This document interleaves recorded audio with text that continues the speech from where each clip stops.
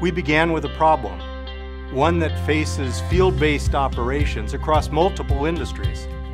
Those operations need to be versatile.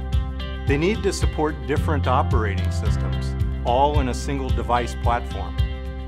And so, for the first time ever, the Intermec CN51 mobile computer allows you to choose between Windows Embedded Handheld 6.5 or Android 4.1. You can implement the CN51 now running your legacy Windows mobile applications. And if your platform strategy changes, you can easily switch to Android without purchasing or deploying a new device.